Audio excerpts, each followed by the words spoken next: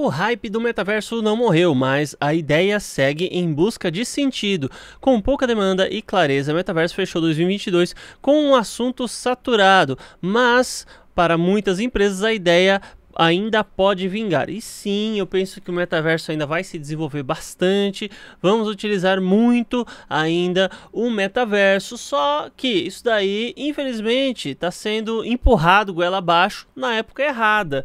Por quê? Para ter uma real imersão ao metaverso, é necessário tecnologias que, em primeiro lugar, sejam mais acessíveis, em segundo lugar, que sejam mais confortáveis. Porque até então, você pode até ter um fone de ouvido, por exemplo, que ele vai identificar um barulho lá do outro lado e você vai perceber exatamente no ponto certo, né? Não sei se é o fone 5.1, não sei exatamente qual tecnologia é essa, mas existe isso. Já provei, né? Eu não tenho, mas já provei fone que você ouve certinho o barulho exato de onde o negócio está vindo. Isso é realmente maravilhoso, é, mas é caro pra caramba.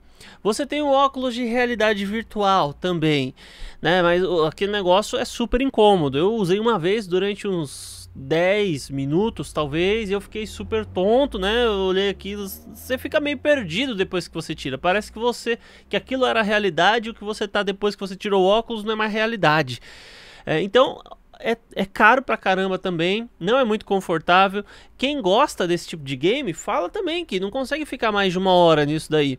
Então, é uma coisa que você observa e você fala assim, pô, é, não é lá essas coisas, que é divertido pra caramba, e, né, tem lá seus benefícios até certo ponto, claro que tem, mas eu vejo assim que a gente está em uma fase muito embrionária disso, e eu acredito que é, isso daí vai culminar naquilo que o Elon Musk quer fazer, que é pôr chip na cabeça das pessoas, né? Que é conectar as pessoas. Então, você vai ter um, um, um por exemplo, um chat GPT dentro da sua cabeça.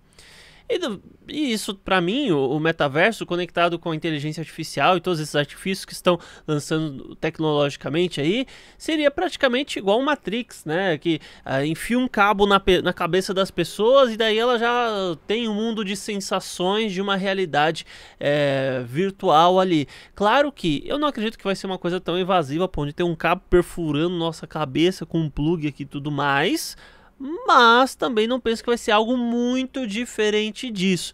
Talvez um negocinho instalado aí no cérebro em conexão, seja Wi-Fi, Bluetooth ou enfim com alguma outra coisa, possa provocar é, a estadia bem incrível em um determinado outro mundo, como por exemplo um metaverso.